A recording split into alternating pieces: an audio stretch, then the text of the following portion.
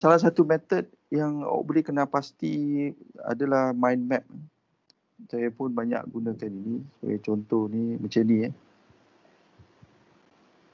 Ah ni uh, apa ni saya buatkan apa ni uh, plan kan apa cabaran dan hala tuju.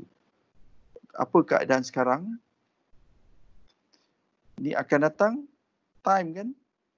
Cabaran condition kita lah. Jadi kalau awak gunakan uh, app sini, awak boleh padamkan di sini. Ni boleh padamkan. Uh, asalnya awak ada tiga perkara yang yang awak dah identify dah kenal pasti. Dia nak kembangkan lagi. Masa discussion dengan uh, grup-grup itu awak pastikan apa ya apa penyebab kepada problem itu uh, dia berkait antara sesama lain kalau tengok ini sekarang ni ada berkait dengan ni dan sebagainya dekat sini dan ini berkait dengan yang di atas. Ini secara umum ya, ini saya buat untuk diri saya lah. Kemudian lepas itu akan datang ni. Ha. Jadi kalau kalau lah dalam kepala itu dalam kepala itu tidak di mapkan dengan betul berserabut ya. Jadi kalau uh, Google Map tu untuk peta jalan tapi mind map ni untuk peta minda. Jadi ada problem ini di sini dia berkait dengan yang uh, yang lain-lain. Ni ni ya tengok ni. Yang ini semua berkait dengan sini. Kemudian ini berkait dengan yang ini. Kan? Kemudian awak boleh tekan kat sini. Ha, tengok. This is a total mapping of problem yang kita nak selesaikan. Jadi walaupun ini tools tapi tools ini seolah macam awak naik kereta, awak nak pergi KL ke Tanjung Malim, tak pakai tools, jalan kaki, sampai tak? Jawapannya sampai. Tapi it takes three weeks from Kuala Lumpur to Tanjung Malim. Dengan panas, hujan, meredah, itu, ini. Tapi kenapa orang guna kenderaan sebab itu tools. Jadi kita nak selesaikan masalah kalau hanya gunakan uh, kudrat ataupun daya upaya yang sedia ada tanpa tools tak boleh juga. Jadi tools yang mudah adalah salah satunya adalah ini ya.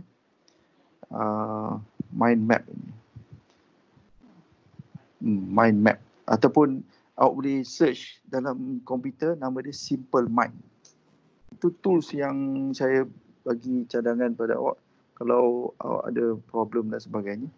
Mungkin di apa ni di GMI ataupun di attack awak boleh gunakan uh, Simple Mind ini untuk uh, brainstorming dengan dengan pelajar-pelajar ataupun uh, kerja di kilang awak boleh Ah, apa ni gunakan ini untuk uh, selesaikan masalah.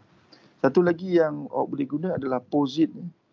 Posit ni yang kuning ni selalu di pejabat mesti ada kertas-kertas sini. Saya tunjukkan kat sini eh. Ni. Bila awak meeting, awak akan ada banyak idea macam ni. Ya, hanya menggunakan posit ini awak snapkan saja snapkan awak, awak snapkan macam ni. Kemudian bila dah snap awak boleh susun dia. So, ataupun nak balik asal gitu.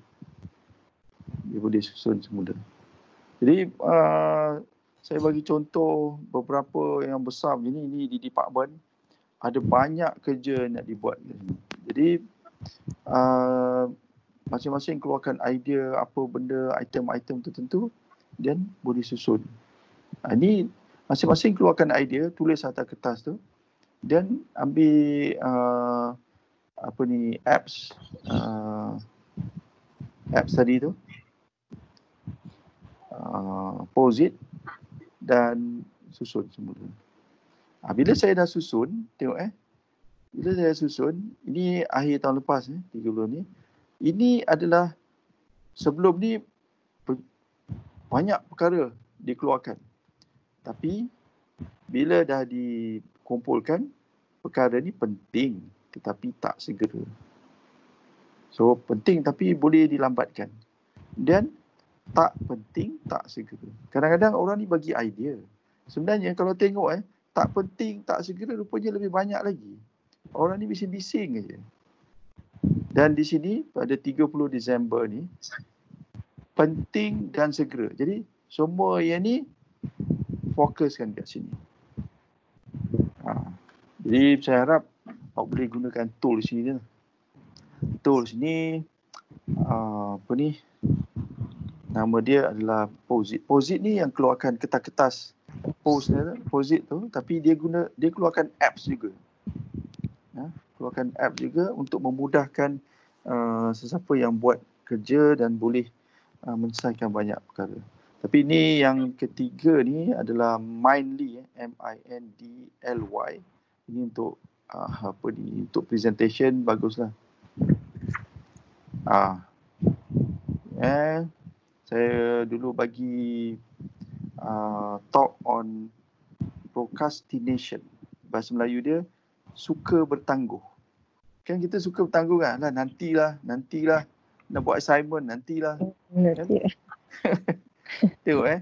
Saya tekan kat sini. Kalau nak buat yang baru. Buat yang baru. Oh, pergilah tanda plus ni. Tapi ni saya dah buat ni. Tekan ni. Ha. Saya bagikan kepada lima perkara. Ya, lima perkara. Nombor satu saya letak nombor satu. Apa makna suka bertangguh? Procrastination ni kita sebenarnya tak aware tau. Rakyat Malaysia ni tak ambil sambil lewa je. Banyak buku yang ditulis eh, buku pasal apa ni buku-buku berkenaan dengan procrastination ni dalam uh, dalam web ada banyak dan cara mengatasi eh sorry. Nombor dua kenapa suka bertangguh? Sejak bila mula bertangguh? Sejak dulu kan? Ni boleh dikemukakan saya atas tu saya tunjukkan ni. Uh, botol susu. Uh, sejak dulu lagi. Di mana silapnya? Dan cara mengatasi. Setiap satu ni, setiap satu ni ada poin-poinnya. Dan dia boleh, kita boleh apa ni, round robin kan. Buta-buta je ni. Uh, saya ambil nombor empat ya. Suka petangguh sebab dia saya letak gambar jam kat atas tu. Di mana silapnya. Uh, di mana silapnya ada banyak lah. Betul tak? Sikap. Tidak mencatit. Tiba tak tahu je kan kan master mesti ada kaedah mencatat yang bagus kan ada notebook dan sebagainya dan uh, tidak bersungguh. Banyak alasan ni. Orang Malaysia ni memang banyak alasan ni. Dan rasa orang lain lebih nasib baik daripada kita. Oh, dia boleh lah. Ada tak perasaan tu? Okay? kat sini ada banyak alasan ya. bila saya tekan ni ni kan Robin juga. Ini saya kata uh, presentation bagus. Uh, guna Mindly ni. Tengok eh banyak alasan. Saya tekan banyak alasan ha. Sebenarnya tiap-tiap kali saya pergi saya buat talk ni sekarang susah lah nak buat talk ni pun. Tengok eh contoh alasannya cuba tengok satu ni. Tidak mendapat pengiktirafan. Betul tak? Bila kita kerja kan jadi engineer dah lama kerja orang tak appreciate kan? Kita pun mulalah down, malas lah, apalah itulah. Suka buka Facebook, ni social media. Betul tak? Bila buka ni lama masa. Tahu-tahu dah habis masa. Sejam tu sekejap je. Kecewa. Rasa banyak sangat kerja. Tak tahu apa nak buat. Ni selalulah ni. Knowledge tak banyak. Tak tahu nak buat apa masalah roommate ni pelajar kalau roommate ni masalah kat rumah ha, ni yang kita selalu kata malas sebenarnya perkataan malas ni uh, sebenarnya dari dulu orang Melayu ni tak ada sikap malas sebenarnya dia di, di didoktrinkan oleh penjajah Melayu malas. Saya ada buku kaitan dengan uh, uh, apa ni zaman-zaman penjajah. Orang Melayu ni sangat rajin. Hmm? Itu cerita lain lah. Hilang semangat, birokrasi. Betul tak birokrasi menyebabkan kita suka berlengah? Jadi ada banyak dekat sini eh. Sampel nak, nak hidup senang je. Traffic jam. Ini sebenarnya bukan input dari saya. Eh. Bukan saya beri. Saya minta kalau dalam kursus tu bagi setiap seorang bagi point-point. Tak kisah. Tak peka. Letih pun ada. Deadline nama lagi. Betul tak? Jadi macam itulah.